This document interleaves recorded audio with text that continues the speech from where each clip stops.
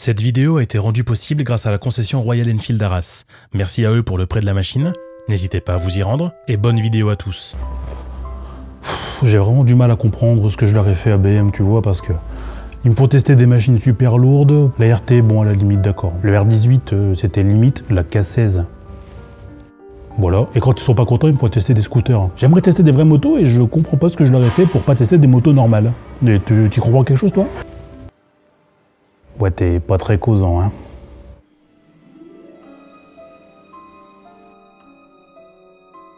Et après tout, pourquoi pas?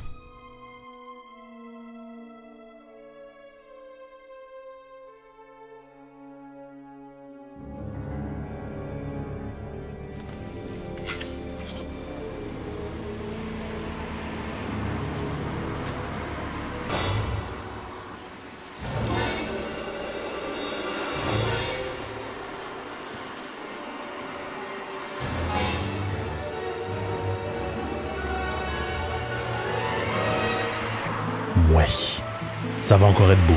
Mais après avoir encaissé la nouvelle, il y a un truc plutôt positif qui est sûr avant même de tester cette machine. J'estime que c'est l'une des meilleures motos de ces dix dernières années en termes de concept et de singularité. Alors est-ce que je vais réussir à confirmer mes a priori?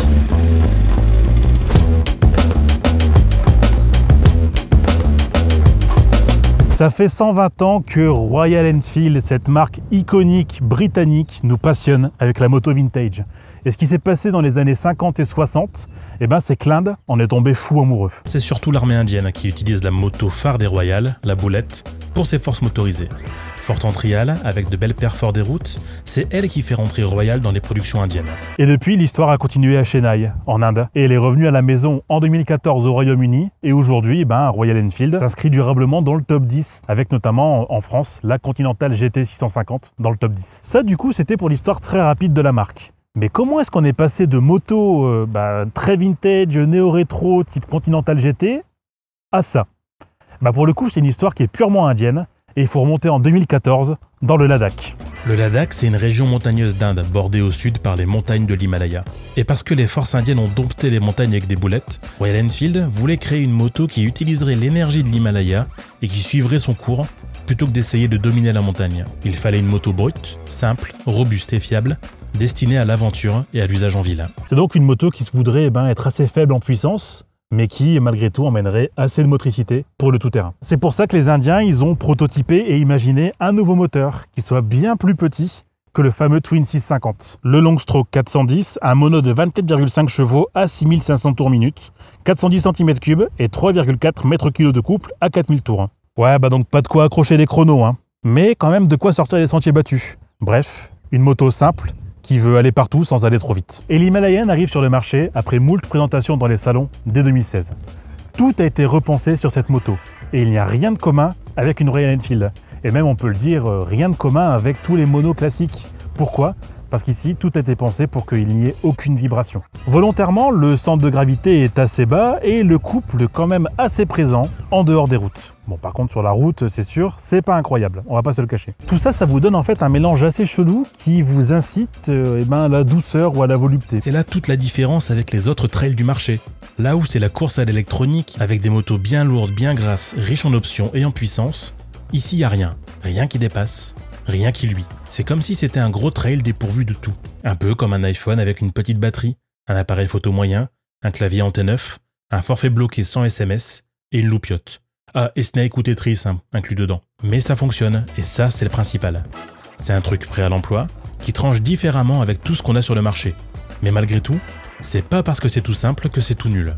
Pour preuve là-dessus, la garde au sol est quand même largement suffisante. On est sur 220 mm, soit euh, quasiment aussi grand qu'une 1200 GS. On a une fourche de 41 mm avec des battements de 200 mm, un mono-amortisseur avec 180 mm, deux roues à rayon, de 21 à l'avant et 17 à l'arrière, donc euh, on est sur un vrai trail. Hein. Chaussée d'ailleurs de pneus mixtes site, euh, dégueulasse. Voilà, je le dis clairement, c'est caca, c'est nul à chier, faut changer ça tout de suite. Si tu prends du chemin sec, c'est nickel.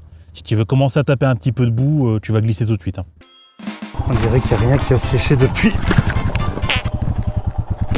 Tout ça condensé dans une moto qui fait moins de 200 kg tout plein fait, avec un empattement de moins d'un mètre 50 et une longueur de moins de 2 mètres 20. Vous pensez que c'est lourd et que c'est compliqué à manœuvrer sur la route? Pas tout à fait. C'est peut-être certes un peu lourd, il est vrai, mais par contre dans les chemins, ça s'emmène super facilement. Même si le moteur est digne d'une consommation de moineau. D'ailleurs, moineau, euh, tout comme la consommation d'essence, vu qu'on est là-dessus sur un réservoir de 15 litres, mais tu peux largement faire entre 300 et 350 bornes avec un plein. Ah, bref, l'aventure avec un petit A, mais avec un grand cœur. Et pour tout ça, parce que déjà c'est pas mal, vous avez quoi en plus? Bah t'as un sabot moteur, un tout petit écran TFT Tripper avec navigation GPS intégrée, un ABS déconnectable à l'arrière, un porte-paquet, des soufflets de protection de fourche, une petite bulle, des barres de protection pour le réservoir, une béquille centrale et latérale, avec un tableau de bord malgré tout qui est assez complet, hein. Une boussole un peu tip top, c'est rigolo, c'est peut-être la seule moto avec une boussole, mais elle marche pas très bien. C'est pas qu'elle marche pas bien, c'est que la calibration, elle est pas incroyable. Là-dessus, tu as une jauge à essence, tu as un compte tour, tu as un indicateur de rapport engagé. T'as déjà vu sur une moto de 5000 euros un indicateur de rapport engagé? Ouais, ouais, je dis 5000 euros parce qu'en fait, euh, ben, ça vaut un peu plus de 5000 euros. C'est pas mal, hein? Alors c'est sûr, elle va pas bousculer le monde de la moto d'aventure, hein. mais clairement, l'appel de l'aventure, avec un petit A et un grand cœur, est présent avec cette meule. Et qu'est-ce que ça vaut sur la route? Ben...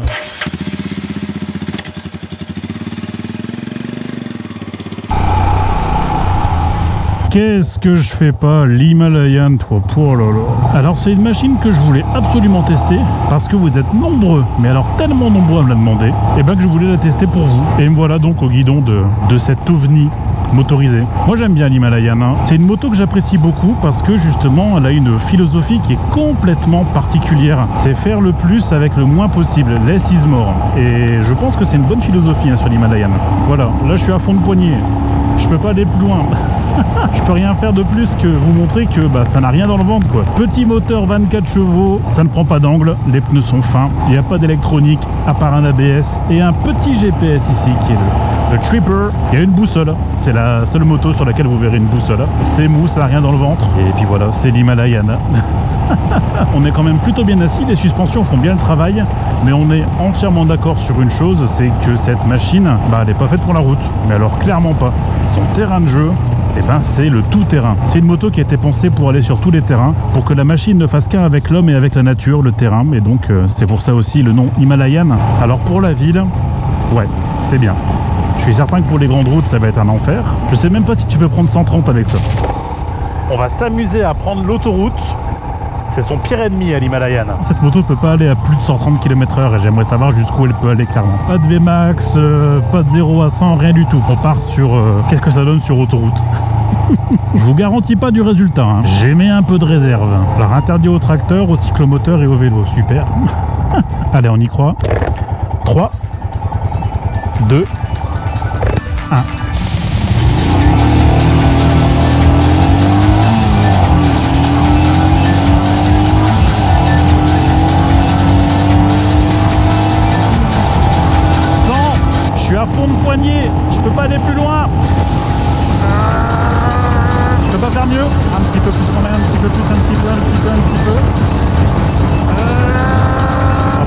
On va pas arriver au top.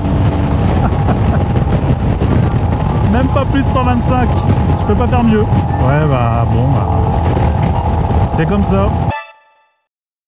Alors l'avantage de ce trail, que j'aime beaucoup, hein, que je préconise souvent dans les trails, on a deux. Déjà c'est petit, dans le sens où euh, la, la hauteur de selle est de 800 mm je crois. Et surtout, c'est extrêmement fin. Pour les petits gabarits, eh ben, c'est une moto qui se manipule assez bien. À partir d'un mètre 65, 70, même 65, je pense que tu commences déjà à toucher les pieds à terre. Un peu avant, sans doute, peut-être. J'ai pas essayé, à vrai dire, hein, vu que je suis 1m80. Qui fait que moi, j'ai l'air d'être un, crapaud sur cette moto. La position de conduite est assez agréable, très trail, très droit. Sur le tableau de bord, eh ben, tu n'as rien. Rien du tout. Parce que justement, bah, c'est la philosophie de la moto. Le klaxon le petit klaxon tranquillou. La petite jauge à essence, ça c'est pas mal. L'indicateur kilométrique, également l'indicateur en miles, c'est rigolo. Je trouve, ça, je trouve pas mal. Alors il y a un petit truc qu'on va essayer un peu plus tard, c'est le, GPS, le Tripper.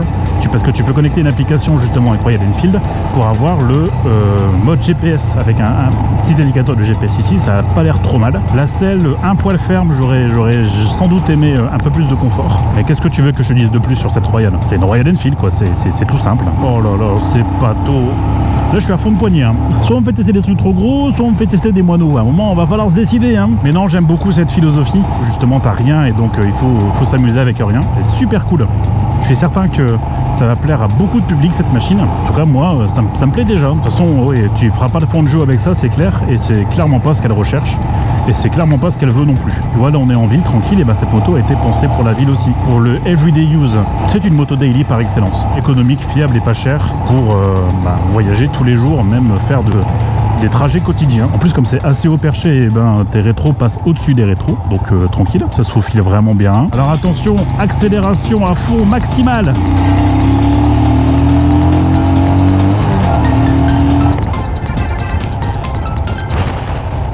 C'est chiant, hein. C'est vraiment pas fait pour ça. Hein. T'as beau taper ton cul par terre, c'est tout. C'est pas fait pour ça, c'est pas fait pour ça, point. Il y a un truc qu'on n'a pas essayé, c'est le frein aussi. Oh putain, et ça.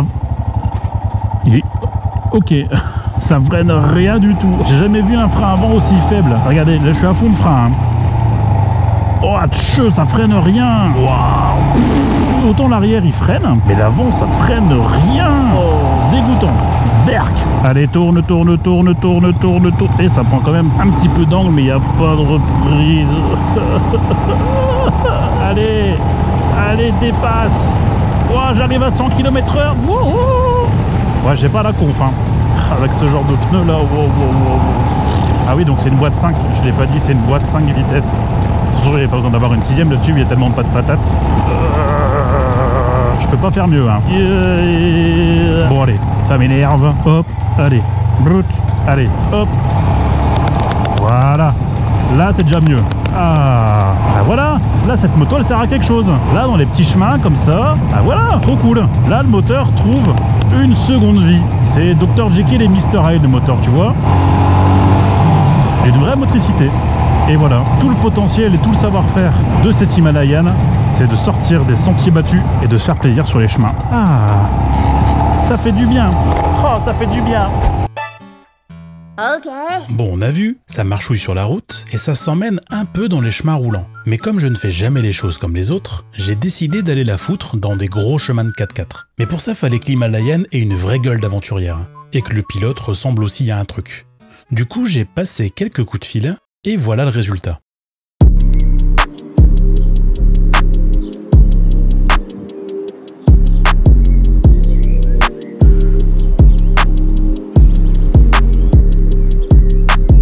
J'espère que vous entendrez bien parce que j'ai oublié mon micro. On se retrouve ici à Siracourt, on est à côté de Saint-Paul-sur-Ternoise, dans un petit village qu'on appelle le village canadien. Il a été reconstruit entre 49 et 51, juste après la Seconde Guerre mondiale, et qui a la particularité d'avoir en plein centre de son village un entrepôt de stockage de V1 absolument dingue, euh, c'est ouf. Et forcément, moi, ben, vous voyez la route avec l'Himalayan, c'est pas incroyable, hein, je suis désolé de le dire. Donc c'est pour ça, ce que j'ai fait, c'est que j'ai appelé mes petits copains de chez Schubert et chez Lone Rider, et ils m'ont filé du matériel pour aller la tester un petit peu hors des routes. Donc merci à Lone Rider de m'avoir fourni de l'Overlander et des mini-bags, et merci à Schubert de m'avoir filé un E1 pour justement aller me perdre dans les chemins. On va essayer de découvrir un petit peu ce que ça vaut sur les chemins. Ça a l'air assez lourd, mais malgré tout, ça a, je pense, une bonne motricité. Vu que mademoiselle l'Himalayan, elle se prend pour la reine du off-road, du haut de ses 24 chevaux, c'est peut-être pas du coup une reine, ou une petite reine, une princesse ou une rainette. Et ben on va voir un petit peu ce que ça vaut. Donc je vais dégoter un petit parcours des familles, un parcours utilisé d'habitude pour les 4x4. On va du coup partir des environs de Saint-Paul-sur-Ternoise pour remonter vers Air sur la lys. Et vous allez voir, à mon avis, euh, on va bien rigoler. J'espère que t'en as sous le capot, toi, parce que crois-moi, euh, tu vas prendre cher. hein. Je vous ferai le débrief à la fin de ce que j'ai pensé de cette machine en off-road. Là, je préfère laisser place aux commentaires en direct. Moi qui pensais que ça allait être peanuts, je vais très très vite déchanter. Oh, qu'est-ce qui fait chaud ici dedans Bon, j'espère que sinon vous aimez bien la vidéo. Et puis si c'est le cas, ben, n'hésitez pas, euh, comme d'habitude, un petit like, petit commentaire, petit partage. Et puis à me dire ce que vous pensez de l'Himalayan, vous de votre côté, quoi. Top, top, top. Ah, c'est bien épais dès le départ, putain. Tchou. Ah ouais, c'est bien. Ouah, tchou. Ah ouais, euh, attends, ça... Oh l'ornière de ouf toi. Va t'en ressortir de ça toi. Mais de l'autre côté. Ah ça commence bien. Ah c'est bien épais mais par contre tu vois ça a quand même été fauché hein, donc c'est que ça passe. C'est ça qui est intéressant avec, euh, cette moto c'est qu'il y a quand même une motricité. C'est très très vite directement euh, mis en sécurité je trouve. La moto elle est pas puissante mais malgré tout elle a assez de patates et ben, pour, euh, pour t'emmener là où il faut. Et ça, c'est euh, c'est plutôt cool, je trouve. Hop, on va changer d'ornière tout de suite. Oh, oh, oh, oh Mais c'est quoi ce panorama de ouf, là? Et dire que c'est là-dedans qu'on va, vraiment? C'est beau comme tout. Regardez-moi ça. Hop, là. Oh putain, oui. Le silence, le calme. Et... Ouf. me faire avoir. Génial. Magnifique. la garde au sol est suffisante pour ce type de chemin, donc c'est cool. Ah oui, ça faut que je tombe ici. Regardez. Hop. Ah, puis en plus, ça se manie tout seul. Non, c'est vraiment bien. Comme c'est que 24 chevaux, c'est très petit et donc ça reprend super bien. Regardez. Tu vois, si tu veux aller faire le bébête là dans des chemins comme ça, bah tu peux. Et regardez, ça va tout seul. Oh. Génial. c'est super. Tu peux repartir tranquille. Je trouve que tu as un bel agrément de conduite sur ce type de chemin. quoi. Le Ténéré, je le regrette un peu quand même. Parce que redécouvrir des chemins comme ça, là, c'est vraiment ça le bonheur. C'est sortir de la route et puis euh, se mettre sur des chemins, découvrir et puis voir qu'il y a des panoramas comme ça qu'on ne soupçonnerait même pas. C'est génial. Hein. J'ai de la chance que ce soit sec. Hein. si ça n'avait pas été... T'allais dire que c'est des mecs, ça se voit, hein. c'est des mecs en 4x4 qui passent là. Et eh ben, putain, ils auraient été ravis. Osez me dire que dans le Pas-de-Calais, il n'y a rien. Regardez, regardez, c'est beau. Peut-être que je vais me bouger. Hop, pour descendre. Ah en termes de poids, on est beaucoup plus lourd qu'un enduro. J'ai l'impression de découvrir les sensations d'un autre type de véhicule, quoi. Bien plus léger que mon Ténéré, pourtant je suis certain que au niveau du poids, ça doit être kiff kiff. Là, c'est facile. C'est facile de faire les chemins avec ça, quoi. On voyage et on teste une moto et je suis payé pour ça. Je pense qu'on a déjà là un début de réponse. Hein. Ce serait pas une moto hyper facile pour faire du chemin, ça? Pour faire du trail et tout, découvrir euh, les sentiers battus? Eh ben oui, je le pense clairement. Hein. Oh Regardez. Vous le voyez? Vous l'avez vu le, le, daim? Oh, Alors ça c'est génial. C'est trop bien Là, t'es pas obligé d'aller vite. Donc t'as l'agrément pour euh, rouler et découvrir le, le, paysage avec une moto pas très puissante mais justement qui, euh, qui est faite pour ça.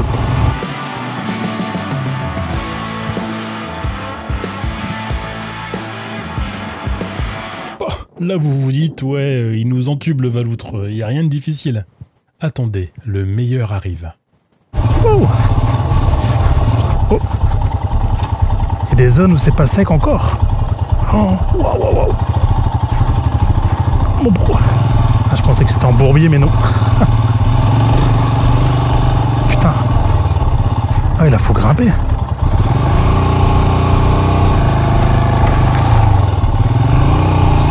Oh putain Ah ouais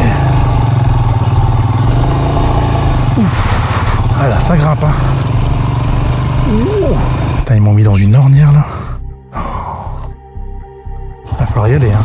Watch Mais qu'est-ce que c'est que ça? La végétation, elle est dense de ouf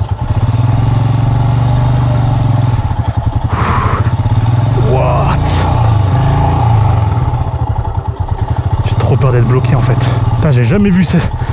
Oh, la taille des ornières, toi. La moto, elle bronche pas. Hein. Là-dessus, il n'y a pas de problème. Hein. Regarde-moi ça. j'ai jamais vu ça.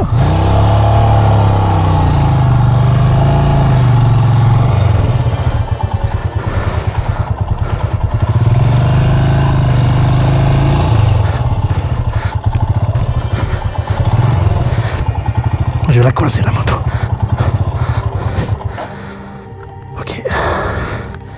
dans la merde. Je suis dans une merde infinie.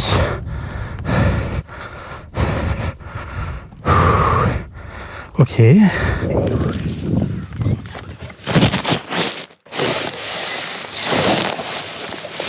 One hour later.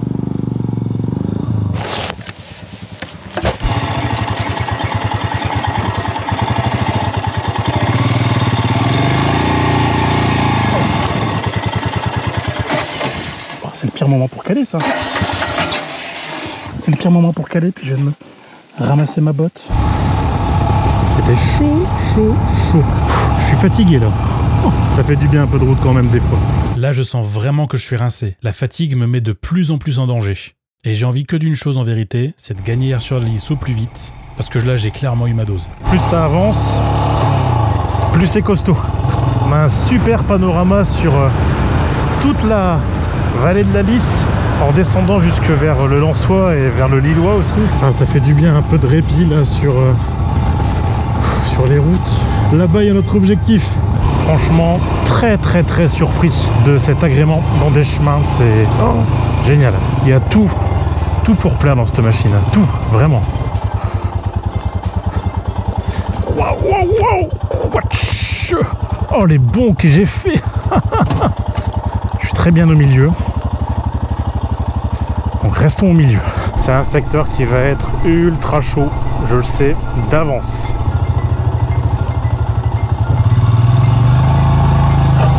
Oh putain, il y a encore un truc qui est frotté là. Je vais pas ressortir indemne de tout ça. Je vais mettre au milieu là.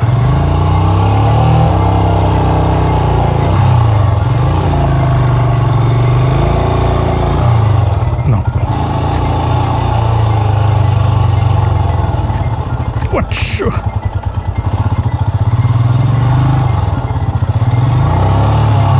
Je veux rien bloquer. Et je suis bloqué.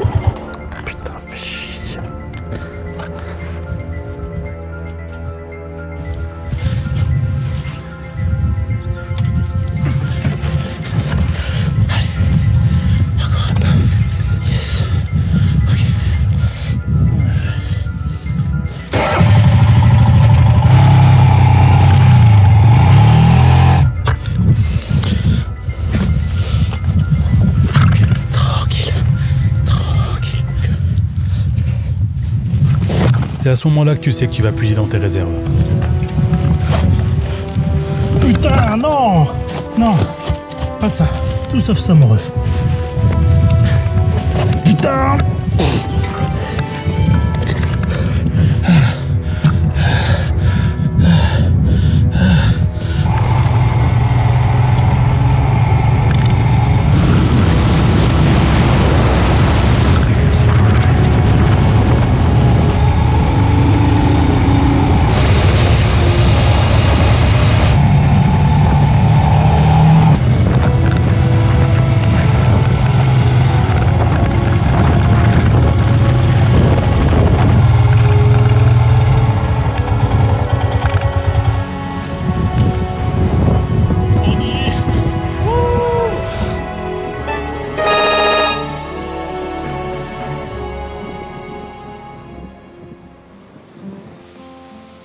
reprenant alors le chemin vers les routes qui m'ont fait découvrir le trail autour de Cambrai, une réflexion m'est venue. Et si c'était réellement ça, la moto d'aventure? Un truc pas forcément lourd et encombrant, maniable et pas puissant, avec un tempérament à vouloir aller en dehors du bitume. Sans doute. En ça, Monténéré avait déjà les fondements de ce que m'a fait vivre l'Himalayan, d'une façon encore plus nette et simple. Juste une moto qui décide d'aller là où elle a envie. À ceux qui estiment que cette moto mérite un voyage et non un essai à ma façon, je leur répondrai que sortir de chez soi, au bout de sa rue, c'est déjà un voyage. Alors imaginez qu'en trois jours j'ai parcouru l'équivalent d'une distance Lille-Strasbourg en passant par les petites routes, je trouve ça plutôt beau. L'Himalayan a une grande place dans la catégorie moto-aventure, et peut-être même le meilleur appel du pied à ceux répondant avec une machine bien plus lourde, bien plus techno et bien plus moderne. La petite aventurière au grand cœur est forte d'un caractère qui n'a pas besoin de plus pour rendre heureux des dizaines, voire des centaines de milliers de motards. Pour ça, Royal Enfield a fait un coup de maître, et cette machine a bien mérité son mono 410. Je pense qu'il ne faut pas plus de puissance pour qu'elle se vende mieux. Le Twin 650 n'a pas sa place dans cette machine, qui a été designée pour démarrer une nouvelle ère chez Royal. Quand tout va plus lentement, tout va plus sûrement. C'est sans doute mon avis, hein, mais je suis certain que si vous allez la découvrir dans une concession ou chez un ami qui a la chance d'en avoir une, cet avis sera aussi le vôtre. L'Himalayan, c'est pas qu'un trail basique. L'Himalayan, c'est avant tout une philosophie. Eh ben, quelle moto Je m'attendais pas à ça en vérité. hein. Pour les chemins, je pensais que c'était un peu plus euh, casse-gueule, hein, que ça allait être euh, pas top, que le châssis allait plier. Eh ben, ça a fonctionné de ouf en fait. je saurais pas par quoi commencer. Franchement, je saurais vraiment pas comment conclure. Petit caractère, petit moteur, mais très grand cœur cette machine. hein. Je pense qu'on a là la réponse ultime pour les trails des débutants. Ceux qui veulent mettre les motos en travers sans forcément avoir un énorme budget, ceux qui veulent une moto simple, sans électronique, sans rien du tout, mais avec un grand débattement et puis une garde au sol qui est quand même assez sympa, et ben Himalayan très très vite, hein, parce que pour 5500 balles, 5500 balles, vous avez un trail qui marche.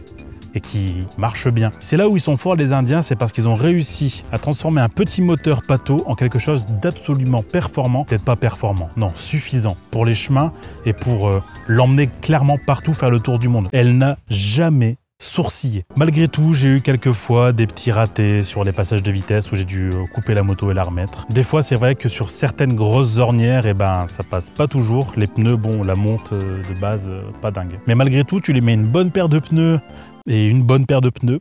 Et c'est tout, ça s'arrête là. Après avoir quitté le Ténéré, je me disais, bon, j'ai peut-être pu reprendre de trail. Et en fait, eh ben ça, ça m'a redonné envie de faire du trail. Si vous voulez pas vous faire chier, partez à l'aventure avec ça. Cette moto, elle est suffisante en tout point. Vraiment un très très bon objet. Franchement, très très très bon objet avec l'Himalayan. J'ai été extrêmement surpris et extrêmement heureux en fait de pouvoir tester cette moto et j'espère que vous l'avez été tout autant. Bon et ben merci à tous d'avoir regardé cette vidéo, j'espère qu'elle vous a plu. Ben, si c'est le cas, n'hésitez pas à commenter, partager, liker, à partir sur les réseaux sociaux, à me découvrir partout. Un immense merci à Royal Enfield Arras de m'avoir prêté cette machine et je vais vous la nettoyer hein, parce que y a un peu de dégâts. On se retrouve très bientôt pour de nouvelles vidéos, si vous le voulez bien. Et si vous avez des essais que vous aimeriez que je fasse, eh ben dites-le moi. Et puis j'essaierai de m'arranger. Allez, à bientôt